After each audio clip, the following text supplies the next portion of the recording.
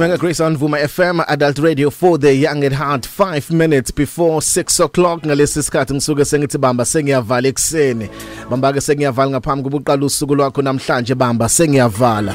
Vumele ngikufundele ivese lodwa bese uyaphuma emsebenzini uphuma esikoleni. Incwadi yamahubo 27 verse 14 wait upon the lord be strong and take heart and wait for him.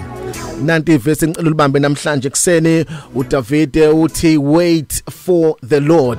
Lindela enkosini njalo uma umuntu uma ungumuntu ufuna ukubona izinto ezinamandla enkosini noma ufuna ukubona uNkulunkulu enza izinto ezithile empilweni yakho you need to understand ukuthi izinto zikaNkulunkulu zidinga abantu abanesambulo sokwazi ukuthi izinto ezivela enkosini ziyalindwa. Mawumuntu ofuna izinto ezingama instant ezisheshayo unga understand ukuthi izinto ezivela enkosini ziyalindwa uzoba nenkinga. Kodwa uNkulunkulu ufuna abantu abazo understand ukuthi abadinga izinto zakhe kumele bekwazi kuba nesithelo sokulinda belindele uNkulunkulu ukuthi uzokwenza. Ungabe umuntu osheshayo ukugive up nosheshayo ukuphosa ithawula mawubona into oyilindele enkosini ingakenzeki. Kodwa abantu abazokwazi ukubona uNkulunkulu enza izinto ezinkulu abantu abazokwazi ukulinda. Mhlambe kade ulinda isikhathi eside ukuthi inkosi yenze ukuthile empilweni yakho namhlanje ngizokutshela ukuthi izinto ezinamandla ziyalindwa nezinto ezizohlala isikhathi eside ziyalinda nezinto ezizoba neimpact enkulu empilweni yakho ziyalindwa. Zonke lezi zinto oyilindayo enkosini zisuke zizofika ngamandla bese zenza into enamandla empilweni yakho. Bengathi namhlanje noma ubusuza ukuthi phosa ithawula ngicela ulinde ulinde inkosi ungazi uzama amanye ama options. Azokususa enkosini just wait upon the lord.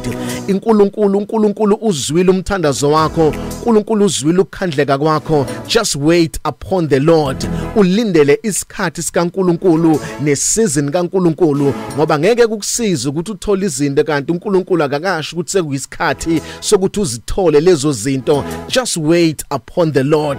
Ngicela ulinde ulinde enkosini. uNkulunkulu azakwenze ngesikhathi sakhe esifanele ngoba isikhathi sikaNkulunkulu singcono kunesikhathi sabantu ngoba isikhathi sikaNkulunkulu senza zonke izinto zihambe ngendlela efanele ngoba sekuyisikhathi sikaNkulunkulu. Mangakenzeki kuwe ubona kwabanye kwenzeka ungakhathazeki just wait upon the Lord. As long as you are waiting on the Lord ulinde endaweni right ulinde endaweni efanele.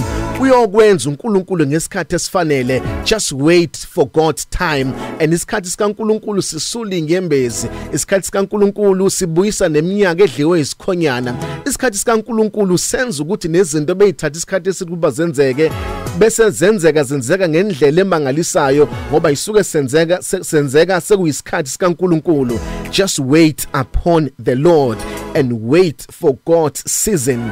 Lindela isikhathi sikaNkulunkulu. Noma abantu bengakhuluma ezinye izinto just wait for God and for his season isikhathi sikaNkulunkulu konke kuyokwenzeka ngendlela efanele My name is Pumlani Nkwanyana. You are blessed, you are favored and you are set apart. Good morning. Mega Grace